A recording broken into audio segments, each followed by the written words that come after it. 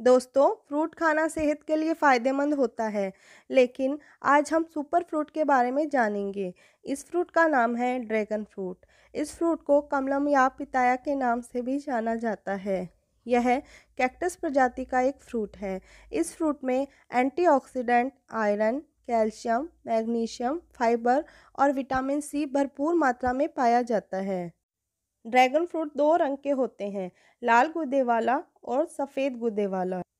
Dragon fruit immune system को strong बनाता है और कॉन्स्टिपेशन को भी ठीक करता है।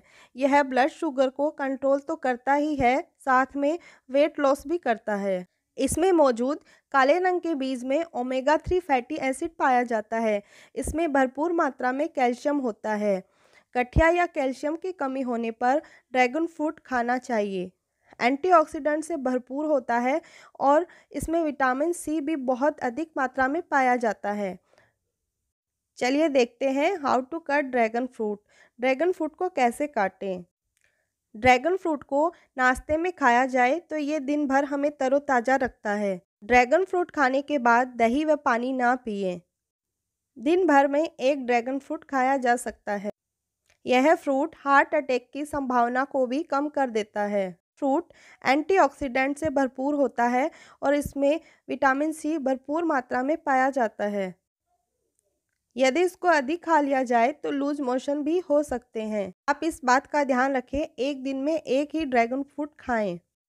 यह एक विदेशी फ्रूट है और मार्केट में इसकी अधिक मांग होने की वजह से यह मार्केट में महँगा मिलता है।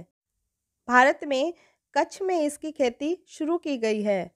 ड्रैगन फ्रूट की तासीर ठंडी होती है। इसको अगर रात में खा लिया जाए तो जुकाम भी हो सकती है। आप कोशिश करें इसको नाश्ते में ही खाएँ। इस फल का स्वाद तरबूज के जैसा मीठा होता है। विशेषकर जिन व्यक्तियों को अस्थमा है, वो इस फ्रूट को रात में ना खाएँ। मैं आशा करती हूँ आप इस फ्रूट के फ़ायदे जान पाए होंगे। ये एक सुपर फ्रूट है। अगर आपको हमारे इस वीडियो से थोड़ी जानकारी प्राप्त हुई है तो हमारे वीडियो को लाइक एंड शेयर करें।